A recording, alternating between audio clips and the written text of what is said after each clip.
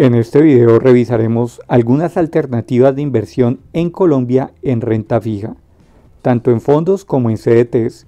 Miraremos las tasas, los plazos y condiciones. Mi nombre es Jimmy Rocha y en este canal hablamos de inversiones y finanzas personales. Así que si te interesan estos temas, te invitamos a suscribirte al canal. No hay que olvidar que por lo general, cuando se busca una mayor rentabilidad, se ven asumir mayores riesgos y tener un horizonte de inversión a más largo plazo, por lo menos de tres años.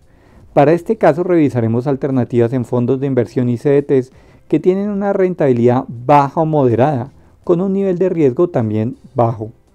Es importante recordar que incluso la rentabilidad ofrecida por los productos en renta fija cambian dependiendo del momento. Si bien en el instante en que se invierte, por ejemplo, en un CDT, la entidad financiera garantiza la tasa ofrecida, es diferente la tasa que ofrecen los bancos en este momento a la que ofrecían hace dos o tres años. Comencemos hablando de los fondos de inversión en renta fija. Revisemos entonces las rentabilidades promedio históricas de diferentes fondos ofrecidos por intermediarios en Colombia.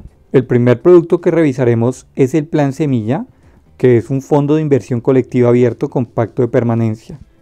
Este es un producto que es ofrecido por Valores Bancolombia.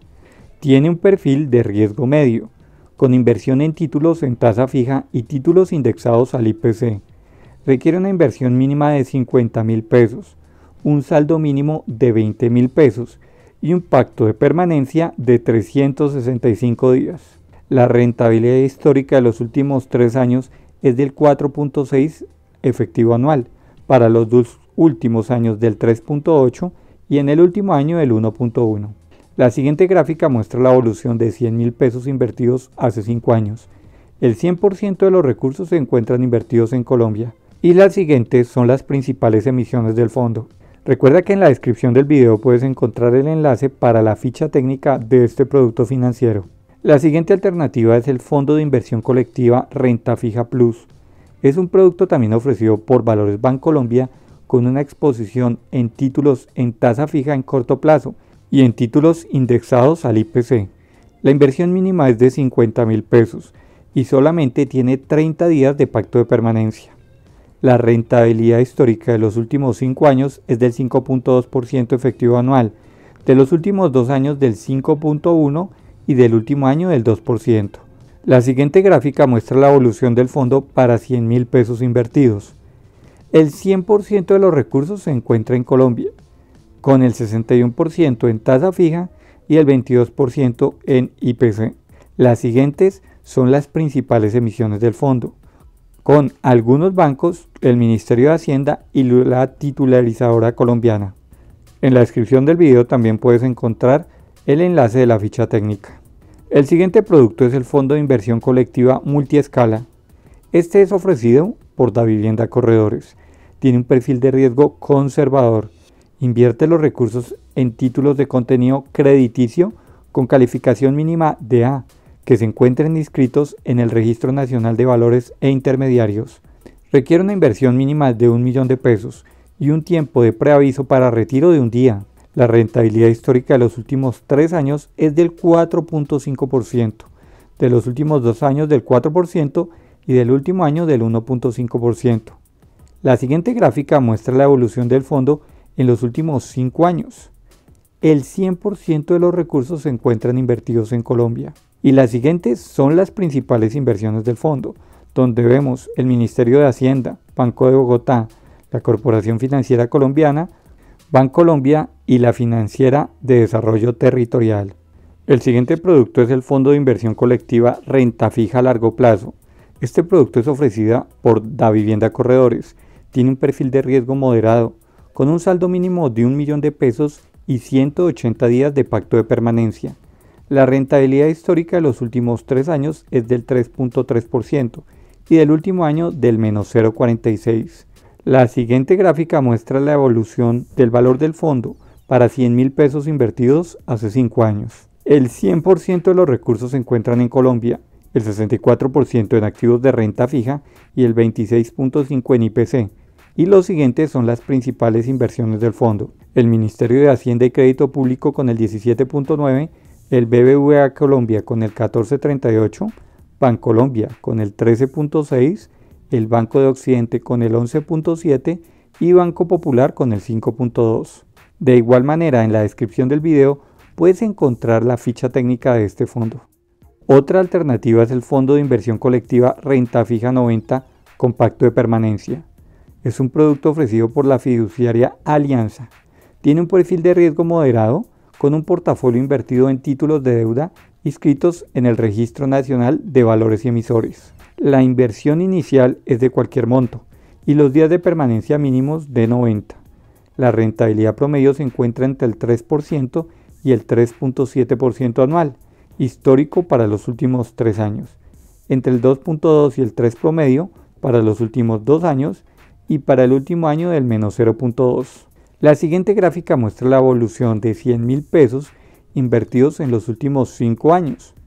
El 100% de los recursos están invertidos en Colombia en moneda pesos colombianos.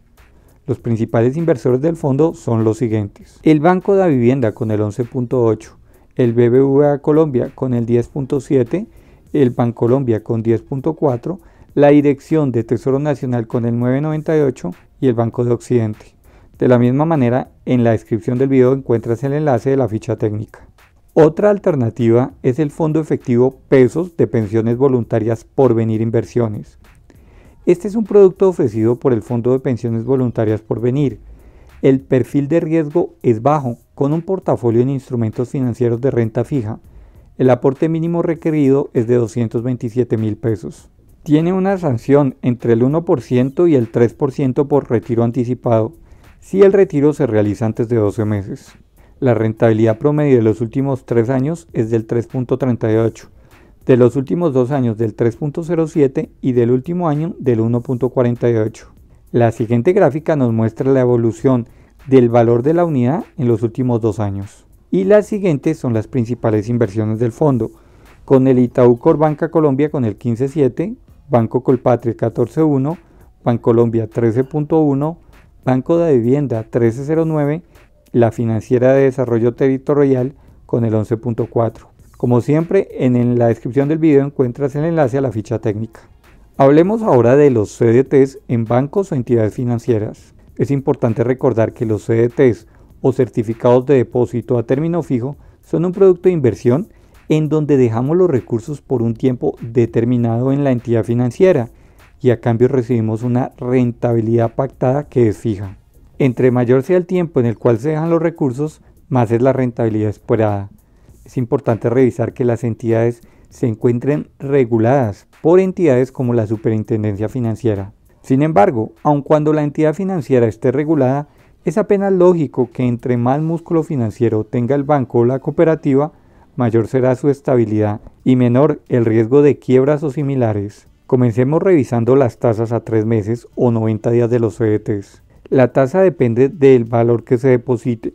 Para el Banco Mundo Mujer tenemos una tasa entre el 2,15 y el 2,6, para la vivienda del 1,8, para el Banco Falabella del 2,4, para Bancamía del 2,2 al 2,6, para el Banco Popular del 1,9 al 2,1 y para Bancolombia del 0,7 al 1,7 efectivo anual.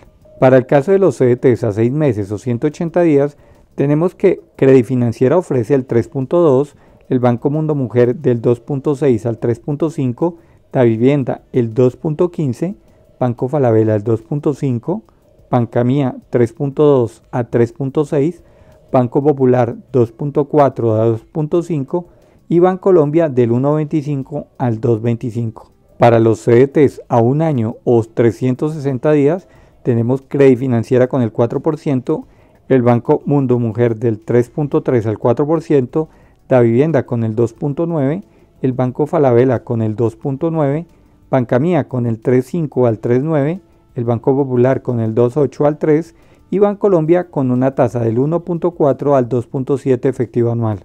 Revisemos ahora los CDTs para año y medio o 540 días.